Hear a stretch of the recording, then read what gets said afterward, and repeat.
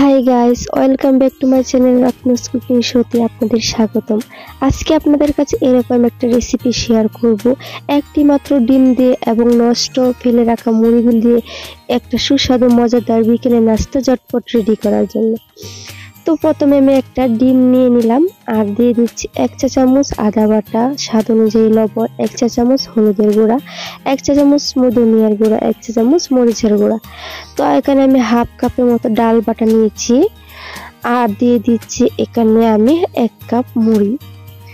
যারা আপনারা মুড়িগুলোকে, মুড়িগুলো নষ্ট হয়ে যায়, ড্যাম হয়ে যায়, আপনারা ফেলে দেন। তাদের জন্য আজকে এই রেসিপি মুড়িগুলোকে আপনারা তেলে না দিয়ে খুবই মজাদার একটা রেসিপি আপনারা বানিয়ে নিতে পারেন চটপট করে। তো আমি হাত দিয়ে একটু এগুলোকে মিক্স করে নিয়েছি। এখন আমি দিয়ে দিচ্ছি হাফ কাপের মতো আটা। আপনারা চাইলে ময়দাটা ব্যবহার করতে পারেন। তো এখানে আমি কিছু অল্প পরিমাণ জল নিয়ে দিয়ে ভালোভাবে আমি হাত দিয়ে মিশিয়ে নিচ্ছি। একটা ডো তৈরি করে নিচ্ছি।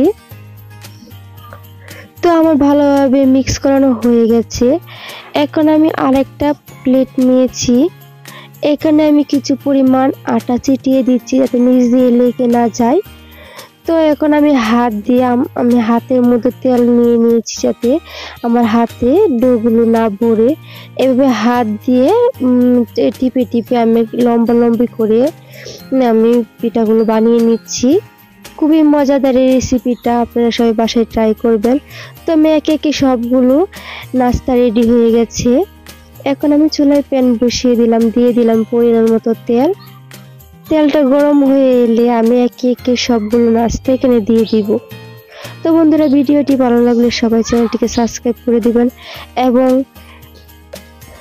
লাইক কমেন্ট শেয়ার করে দিবেন যাতে এরকম মজার মজার রেসিপি আপনাদেরকে উপহার দিতে পারি। তো আমি একে একে সবগুলো নাস্তা তেলের মধ্যে দিয়ে দিলাম। তো আমি একটা চামচের সাহায্যে ভালোভাবে নেড়ে চিড়ে উল্টিয়ে পাল্টিয়ে ভেজে নিব।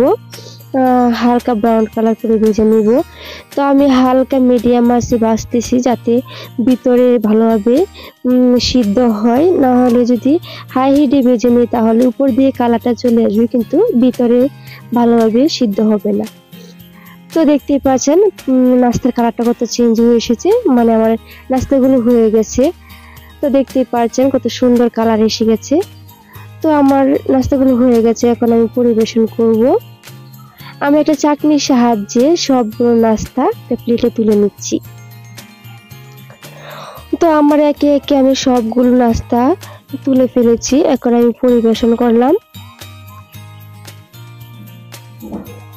তো দেখতে পারছেন কতটা মোচমোচে, কতটা সুস্বাদু হয়েছে। দেখতে যেরকম সুন্দর খেতে কিন্তু খুবই সুস্বাদু। সবাই বাসায় ট্রাই করে দেখবেন।